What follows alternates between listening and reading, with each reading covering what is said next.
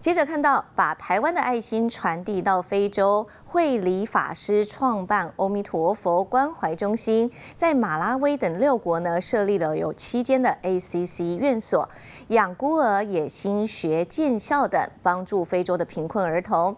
那么二十八位呢史瓦蒂尼院所的学童到新竹县来拜会，展开了感恩之旅，大秀天籁美声。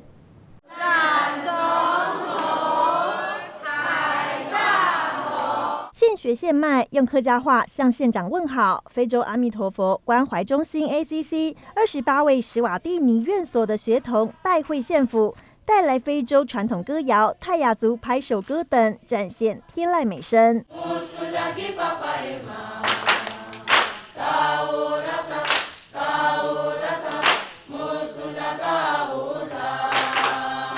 非洲院童进局，同时也是位作家，特别送上《我不是孤儿》，因为我在 ACC 著作给县长杨文科，还高音独唱台语歌。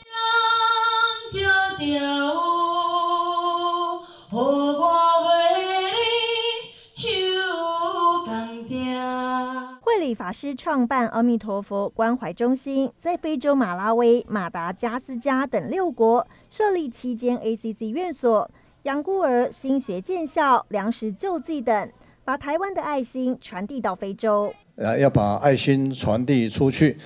那我们在非洲呢，就是利用这个孤儿、贫童跟贫穷作为切入点，在非洲呢不同的国家啊建立 ACC，ACC 就是孤儿院跟学校的一个结合体。那么这个也就是要把台湾的爱心。啊，能够把它传递到非洲去。七个院所帮助两千多位贫困孩子。县长杨文科大大肯定法师和执行长等人长期对非洲学童的关怀，让他们吃好穿暖受教育。第一次见到这些小朋友，所以我想我是非常高兴，欢迎他们到这边来。那我想这也是让我们可以学习到，就是这爱是没有国界的啊，大家。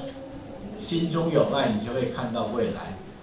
我们帮小朋友，让他能够吃得饱，呃，穿得暖啊，有书读，然后增长他的智慧，他的未来就是非常的亮丽啊。心中有爱，就能看见未来。